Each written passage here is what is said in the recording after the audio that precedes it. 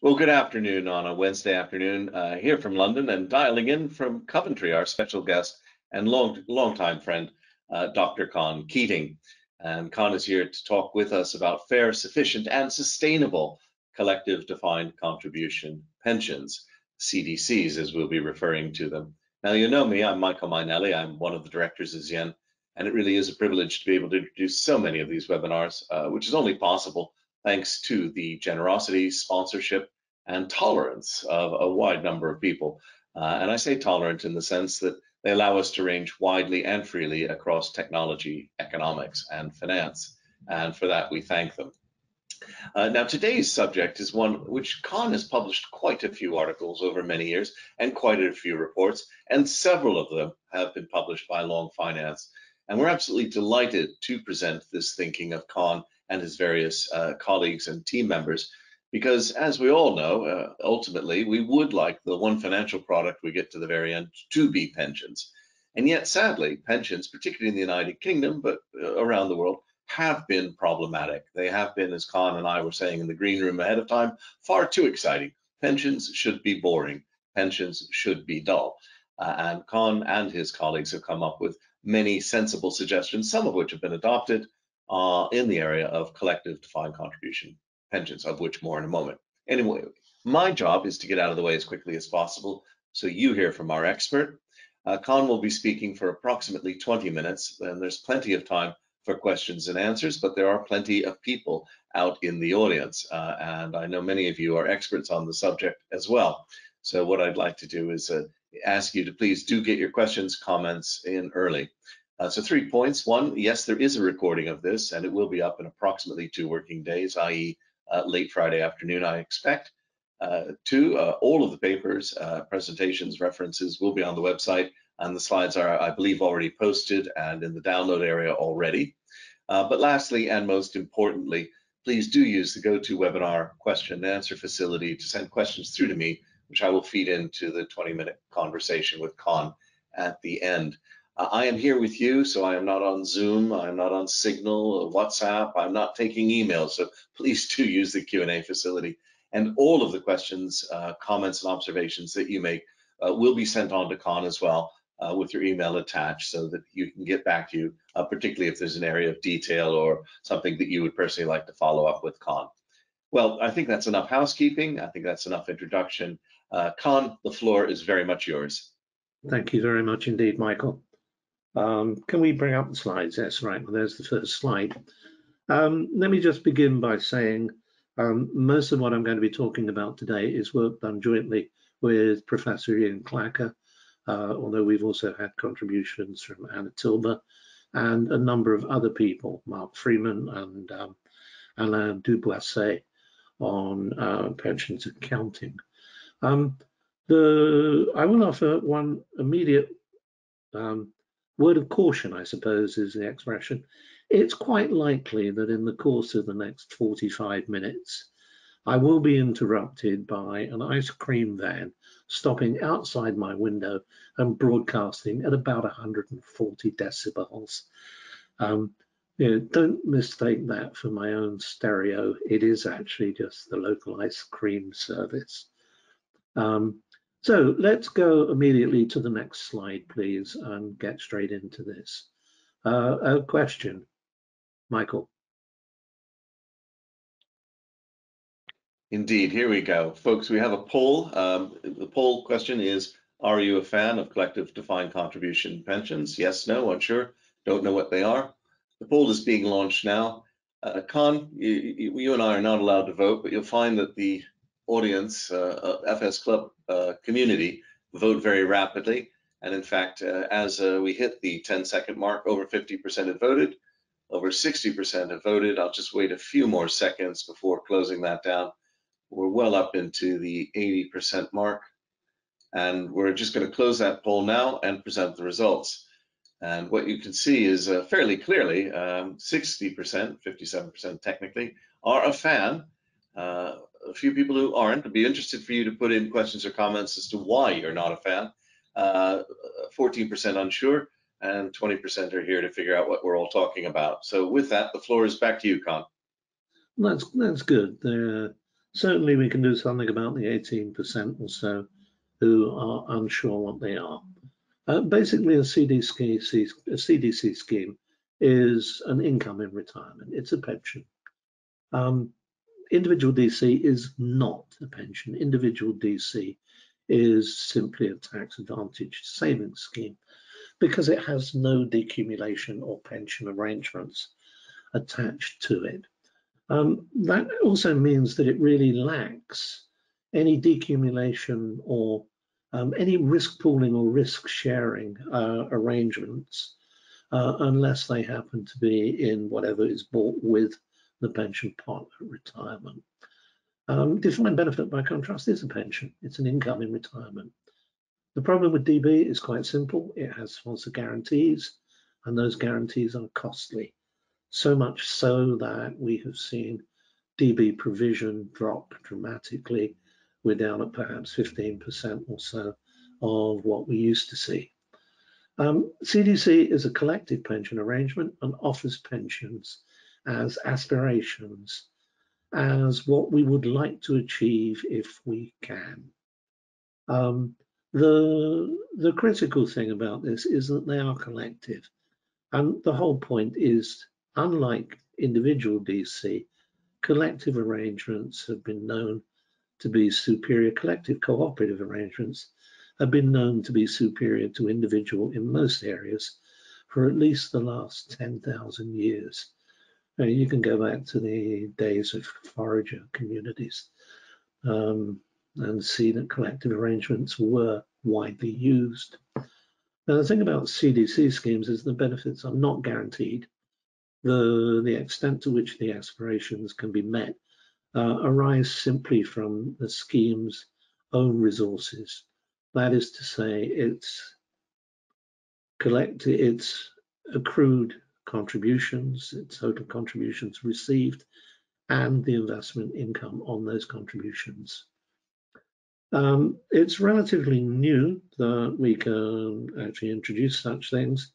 And so far, the Public Pension Schemes Act 2021 permitted single and connected employer um, offerings of CDC. Um, multi-employer and much more should follow.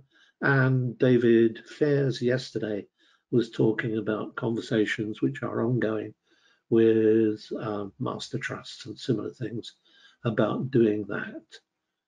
So the objective with most of these schemes then is to design them in such a way that we minimize the frequency and magnitude of cuts to pensions in payment.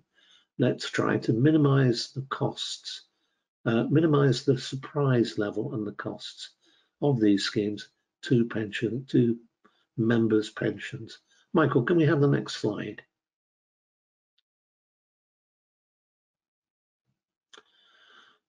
Right. The these are collective bodies so there's obviously pooling of longevity risk. Um, this is very well known from the life insurance area.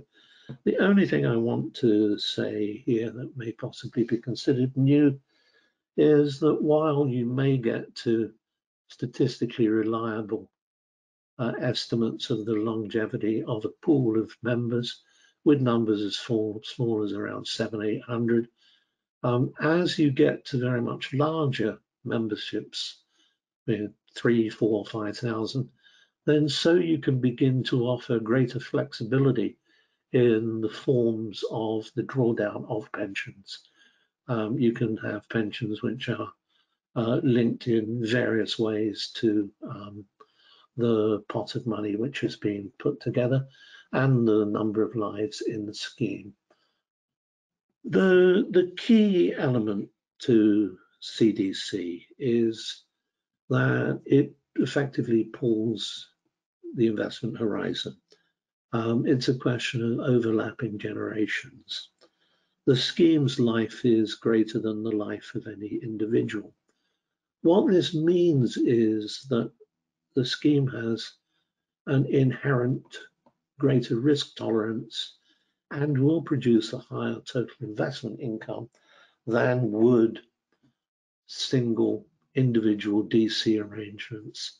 The, the extent and importance of that can't be underestimated. We've had estimates which range from around 30% to as much as 70 or 80%. It's really very simple to uh, explain why those different estimates of investment income um, arise. And it's basically because if you think about a pension scheme as being half accumulation and half decumulation, which is roughly true, um, in individual DC, it's necessary to de-risk the scheme in retirement in order to assure one's pension income or the stability of one's pension income.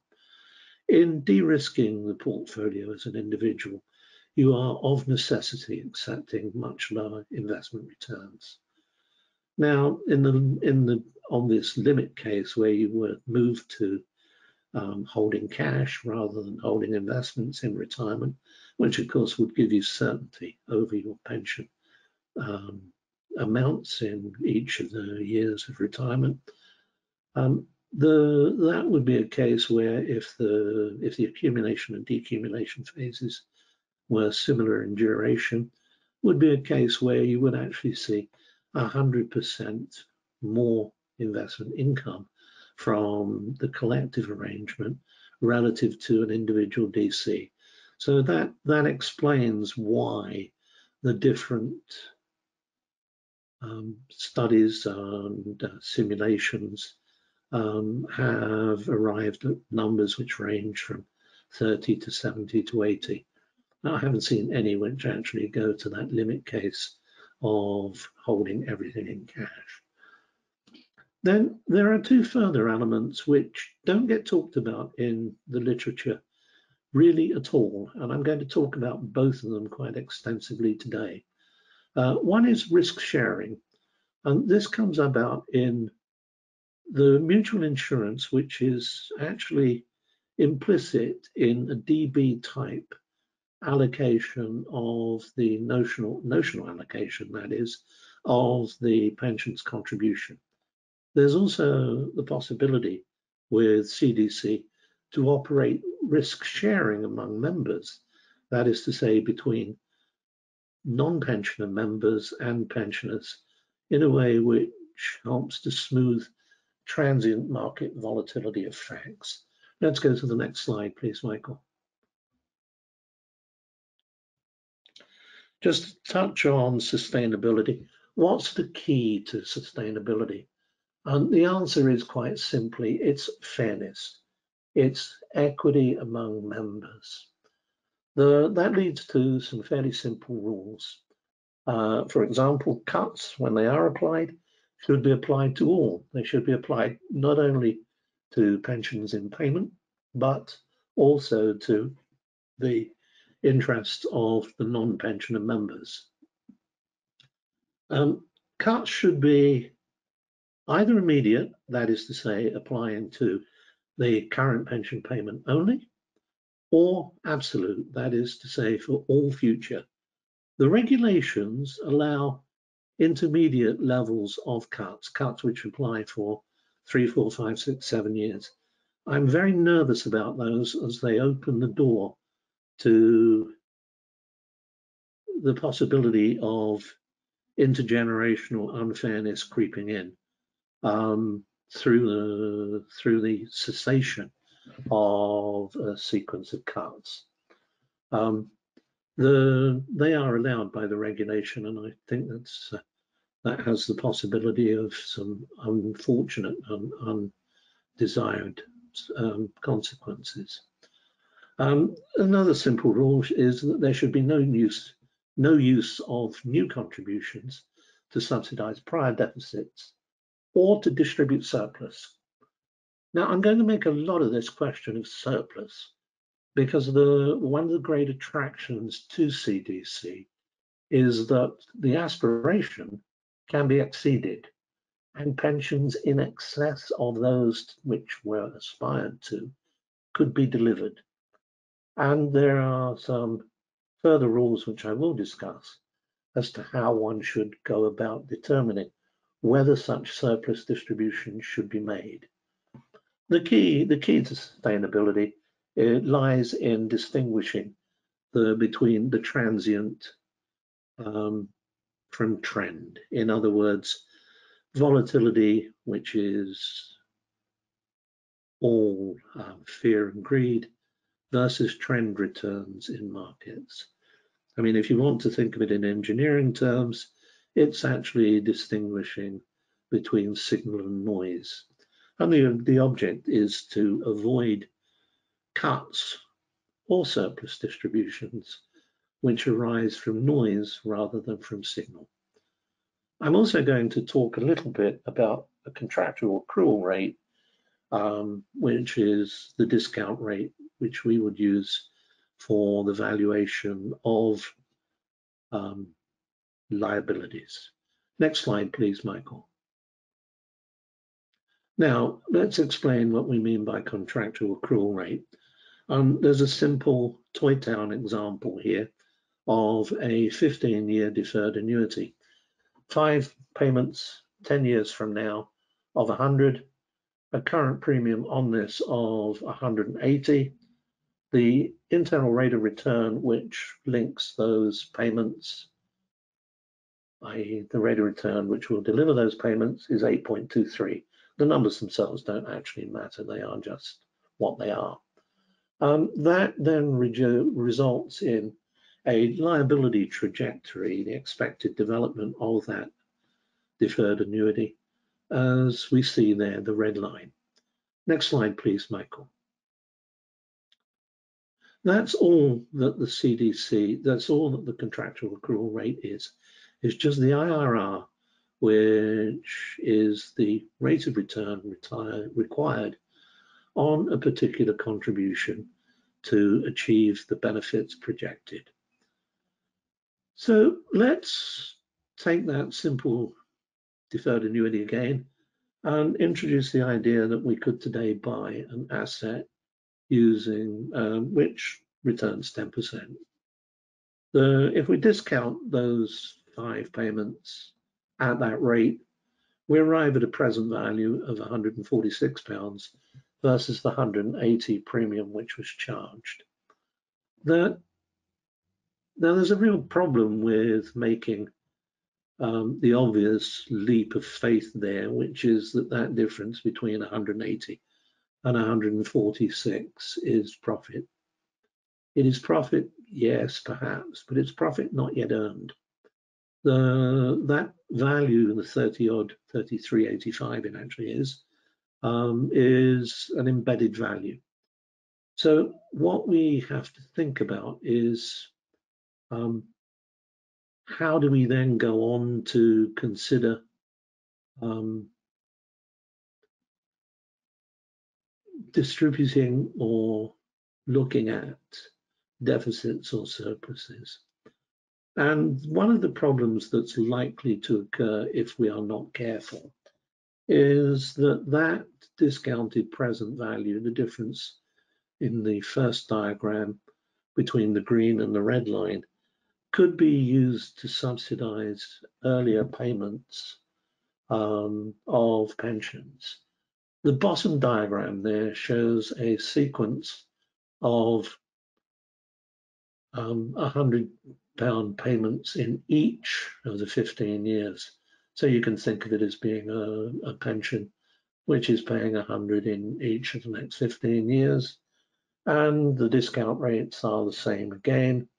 And we see the um, recognized liability you calculated using the CAR and the asset value against those um,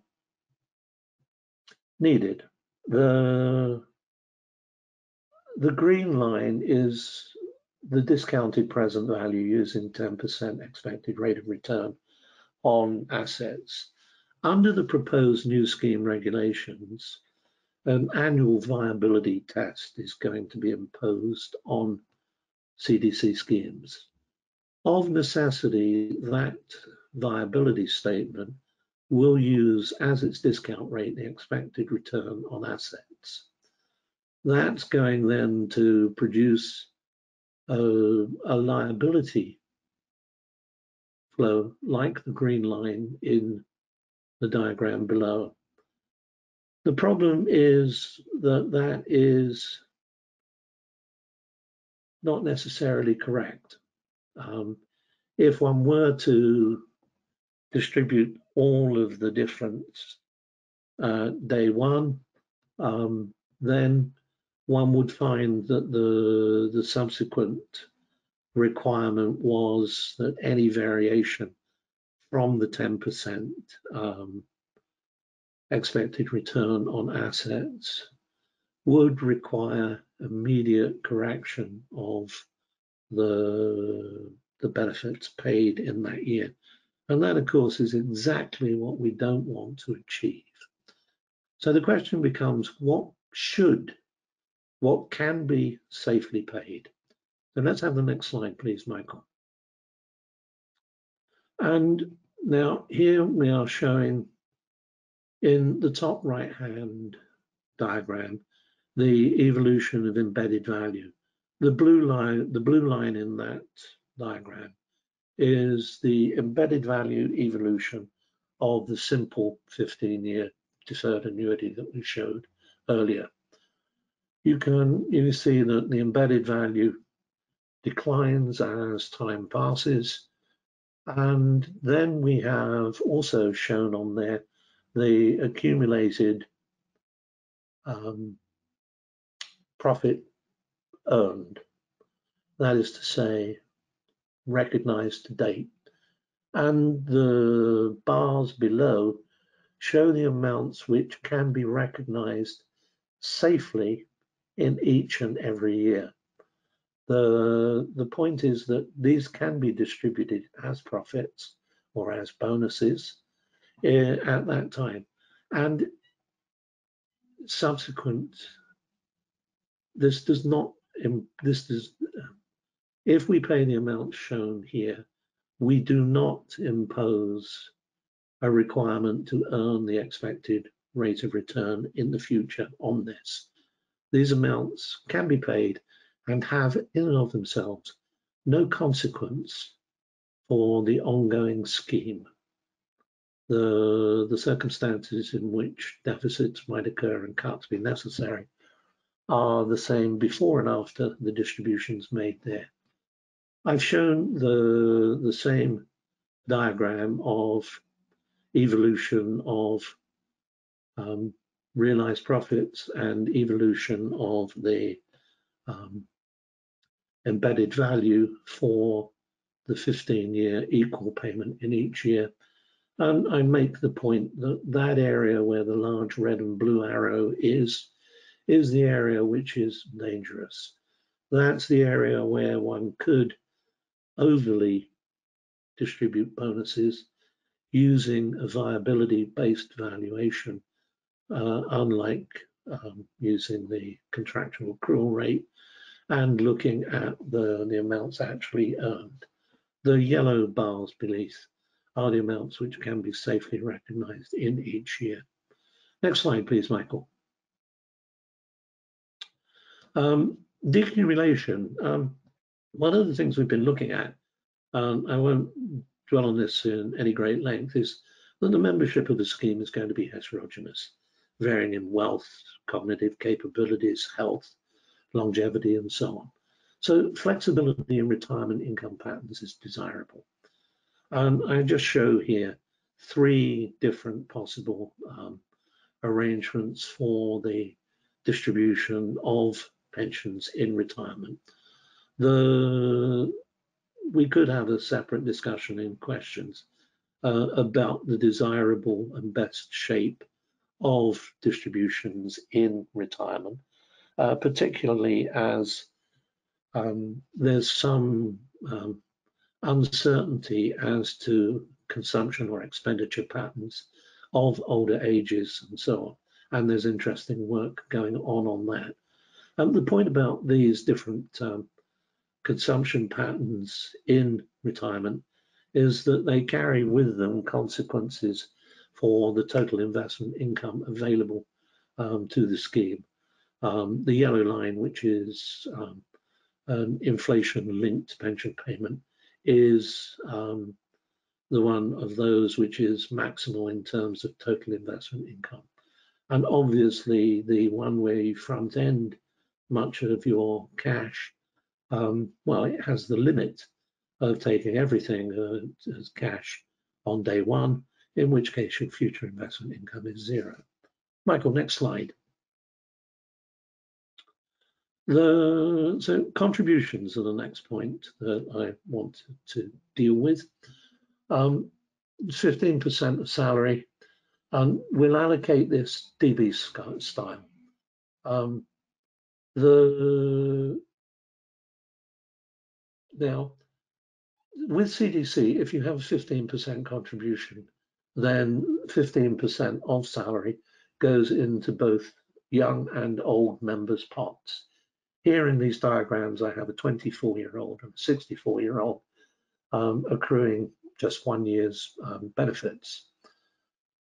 The, the point in, to be made here is that we can answer the question which many people seem to believe, which is that the investment return earned by the younger member makes the the pension being offered, which would be typically perhaps one, one and a half, an eightieth, a sixtieth, or whatever of final salary, um, or a fortieth of career average, um, less fair for the young than the old. The key about the key to understand this is that the younger member has a higher pension for longer in almost all circumstances. Longevity is increasing. There are 40 years between the difference between the young and the old member in this illustration. Um, there's also inflation and uh, wage inflation and price inflation applying to the younger member's pension. This means that investment returns, if investment returns are low, um, then the subsidy comes not from the young to the old, but from the old to the young. The, the turning point at which we see the level of subsidy or the direction of subsidy change is determined by the rate of longevity increase, the difference in that between the 64 year old and the 24 year old, and the rate of inflation in wages and the rate of inflation in prices in retirement. And that is quite interesting. Um, it's also particularly interesting now, where when we look going forward at um, what are we likely to see in the future? Well, given where we are post-pandemic with the levels of government debt that we have, austerity and financial repression are clearly going to be on the cards for some very sustained periods of time, which means that the younger members should in fact want precisely the DB type of arrangement as it serves to limit their exposure to the low rates, which are like the low real rates, which are likely to prevail. Um, the, there's a diagram uh, there which shows um, what happens if we allocate CDC style um, in a in an environment of low um, achieved interest rates, and the answer is um, that the old will be off to the races. Um, they will have far more cash than they need, whereas the young will find that their pensions fall short and are not uh, met. The next slide, Michael. Yeah. Con, while I'm just putting that up, uh, we've got a, quite a few questions. If we could uh, stick to time, that'd help a bit there. Um, I'll just um, the well, um, let's go let's go past this one. Um, this is just showing um, lifestyling. Um, so I just want to bring in some risk sharing rules. Um, this is a way of fair smoothing of the um, prices of assets without actually smoothing the prices of assets at all. Um, it can help to reduce transient volatility and sequencing risk. Um, and the idea is you distinguish between um, non-pensioner members and pensioners. The two rules here, if the scheme is in deficit, set a time for recovery, a time for cure, um, and that should be one over deficit in years. And these rules will operate on the CAR-based immediate, what have we got, where are we now, not the viability um, valuation. The second rule is to set a maximum amount of support available, of risk sharing available, and 10% of active deferred member beneficial interest does the job, uh, at least does the job in all the cases I've looked at, other than some very exceptional circumstances. The key is that when a pension is paid in full in deficit, the beneficial actives or deferreds are increased by a similar proportion. That rebalances beneficial interest and maintains fairness. Let's just go to the next slide, Michael. The, this really is my last slide. Regulations require an annual viability valuation. It's forward-looking, as I've already said. If it is in deficit, then cuts to benefits must be made. Those are the regulations. There are there's considerable flexibility, obviously, although there are extensive disclosure rules as to the elements which make up projected liabilities. Um, that I think needs to be complemented by the status quo valuation. Has the scheme progressed to date in accordance with the promises originally made? That's aspirations rather than hard promises. So what that's actually comparing is where are we now? How are we doing? The, that valuation compares the assets currently held with the accrued value of projected benefits calculated using the contractual accrual rate. And that's where you would apply risk sharing rules. Uh, in simulation, cuts occur less than a half a percent of the time and are usually very small, less than 5% of the current pension. And that I think brings me to the end of my slides, does it not, Michael? It does indeed, and that's really good because we've got quite a few questions out here and comments. Um, I'd like to start with a quick one. It's a, a good survey question from Charles Vermont. What is the benefit of a collective defined contribution scheme compared to a well-diversified SIPP?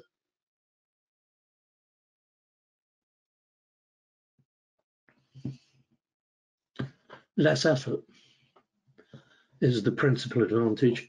If you're going to talk about a well-diversified SIPP, you're going to have to be managing it and you actually have to have certain levels of cognitive ability. Um, would you, for example, have projected the sort of behavior of asset prices that we have seen in the pandemic? Would you really have seen that all of those shopping malls and all of that commercial property would be so massively massacred in terms of its asset values? Would you ex ante have foreseen much of what else has gone on. The, the advantage to CDC is that you are producing an investment return over your entire lifespan. Now, a well-diversified SIPP, you're still going to have to face the question of de-risking in retirement. And with that, you will be accepting lower investment returns, even if diversified you are going to have to go down to holding more and more bonds, more and more gilts, and that comes with an investment return cost. Mm. You'll also have lived through the vagaries of markets, the value of your SIPP overall going up and down with the movements in markets. Con, um, Andrew Young is curious, in a CDC scheme that you're proposing, is any of the contribution uh, allocated to a member? Is it just a collective pot? Uh, and what is allocated to each member is the target benefit accrual, which is then subject to annual adjustment. So the contribution determines how much is added to the total pot, question mark? Yep. Uh, okay, um, got to the end of the question before um, getting there. Um, the the answer is yes, we do allocate to the individual. The individual can see a pot. The allocation style that I would favor would be that of defined benefit. In other words, the allocation made, even though the scheme overall may have, say, 15% allocation to um, the 15% of salaries allocated to the scheme overall, that might be as little as 6.5% um, or so allocated to the younger member uh, when investment returns are high yeah, investment returns being high. Um, and that would also mean that there was um, a higher allocation to the older member, uh, which would be sufficient to pay his pension in full and the other. The, the, the reverse, that is the, that's the question of subsidy between older and younger members. And I've mm. written extensively on that. Um, you know, that's clarified, I hope, for Andy, the situation. I can certainly send him a lot more illustrations where the level of support is, in fact, the other way around. In a world of financial repression, you can expect the level of support to be in the opposite direction, i.e. between the younger, between with the older member supporting and subsidizing the younger member.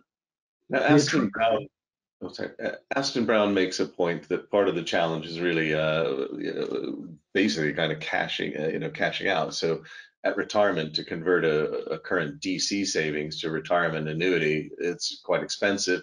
And he's seen costs such as $180 per $1 of monthly income you know, for a guaranteed 10-year retirement payment uh, to retiree or beneficiary. Um, and that raises a point which I think Ann uh, Sanders uh, has here. If transfers out of the scheme are allowed, how would you go about determining that transfer value? Uh, I do it on the basis of the beneficial interest of the member at that point in time. Okay. the beneficial interest is the member's interest in the overall scheme and the transfer value would by definition be the net asset value of that transfer value. Okay. That is their equitable interest in the scheme. And yeah, yeah. I, have had to go over to using the expression beneficial interest because equitable interest has a specific legal meaning which I wouldn't want to apply. Um, the, the point is if you are taking funds out at the net asset value of your beneficial interest, then you are taking money away, but you are doing no harm to those who are left behind.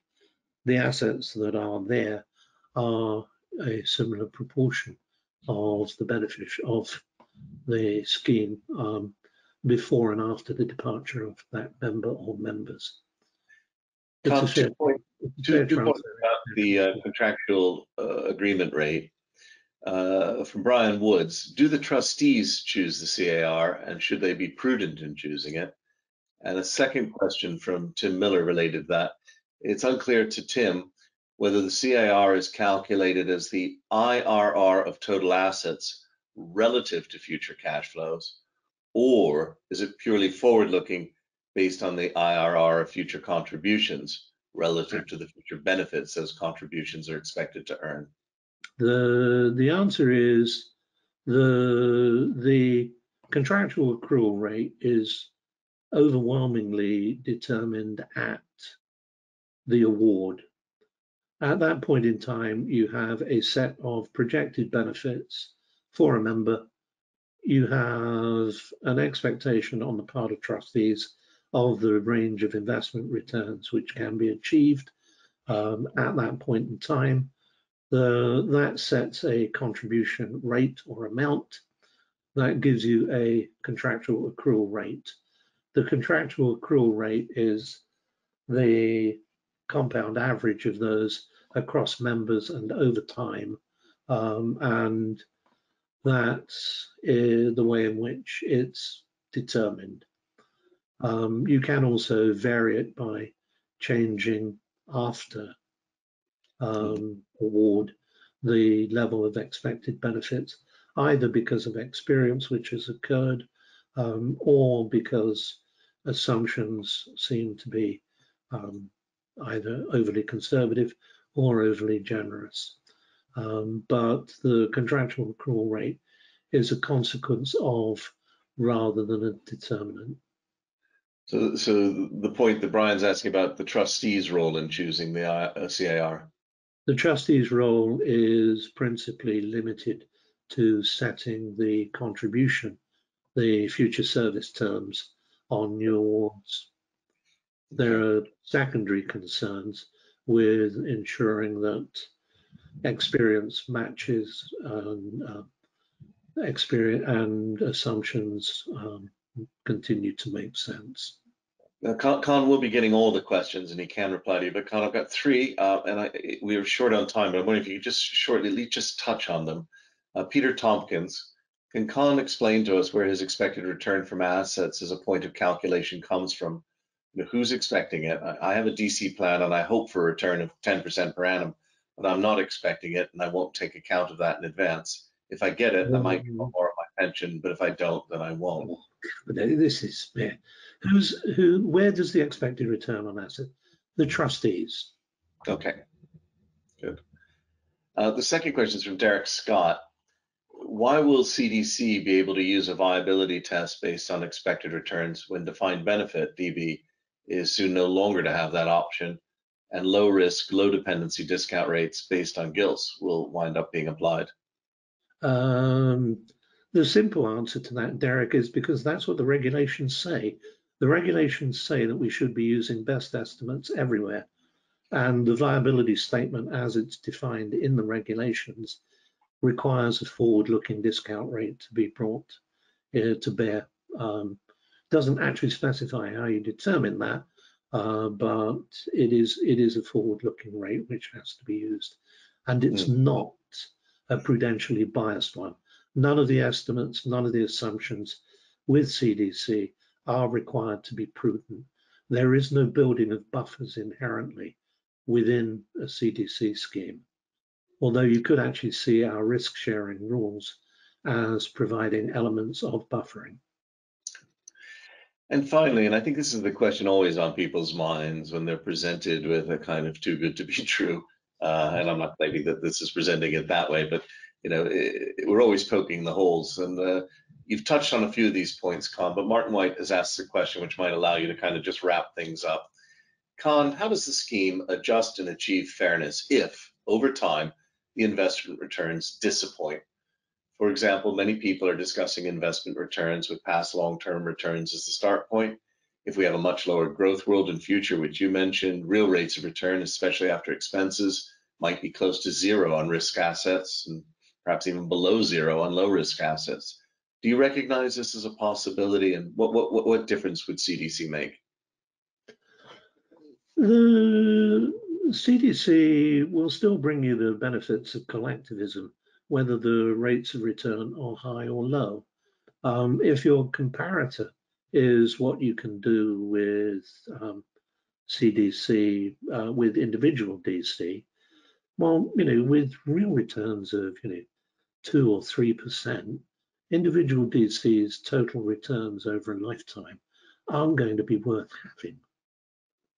The, on the other hand, um, collective DC should be positioned to deliver reasonably good returns. And those are precisely the returns in which the circumstances in which the returns of the younger members, which are most sensitive to the interest rate earned over the lifetime of the investment return earned over the lifetime of the fund um, are um, most sensitive. The um, can it be done? Yes, it, yes. It, it simply yes is the answer. Con, I, I really appreciate you getting on. Uh, This is, uh, you know, this has been an inherently Have we got unfair time for the last presentation. question? Sorry, Have we got time for the last question, Michael? no, no, we, we got, we got, we got through all of them, actually. I mean, Um, I mean the poll. Sorry, the, There's another poll, is there not? Have we convinced everybody? my Anyway, the, the poll question, yes. Um, let me just uh, get that moving. Um, so folks, uh, you, you've listened to all that. Uh, you know, so the second poll is, do you believe that CDC pensions will become an important part of private pension provision? Uh, we're just launching that poll. Uh, you've listened to everything. Uh, you can still be unsure, but hopefully we'll see a, a movement. Con, it's been inherently unfair to ask you to produce a, a 45 minute presentation of a complex area, but it really does help get the message out. Uh, almost all of the audience have now voted. I'm just closing that poll now. Uh, I think it's a very gratifying poll, Con. You've got a 80% with you and uh, 20% either no or unsure and evenly split on that.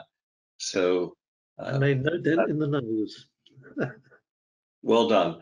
Uh, it is technical, folks, um, and I hope it's there. We've put into the chat room and they'll be cross-referenced on the website. All of this is requires detail, but Con has very confidently and nicely summarized it in a quick 45 minute area and been able to handle some of the initial uh, thoughts and objections. I myself, uh, when first presented with it, did have that too good to be true feeling. As you'll probably gather, given the support of FS Club and Long Finance, I and the team here are convinced this isn't just something to look at, this is something to get doing. And I'm glad, Con, that you and your colleagues have spent so much time really thinking this through and pushing it uh, in the face of, oh, well, let's just, let's just let things ride as they are. Anyway, our sponsors never let things ride as they are, and so I'm absolutely delighted uh, to have you uh, here today. I'm also delighted that you allow us, as I said earlier, to range so freely.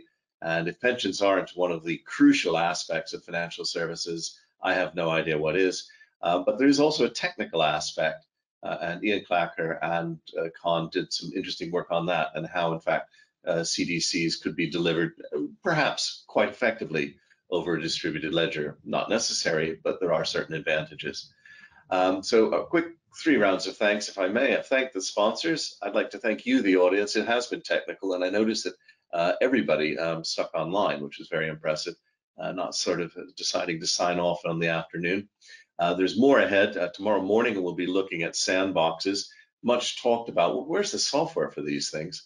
Uh, and then a fascinating presentation next week uh, from Dr. Geoffrey West dialing in from the Santa Fe Institute on all the issues to do with scale, the universal laws of life. It'll be really interesting, uh, and I'm looking forward to it. But my most sincere thanks have to go to Con.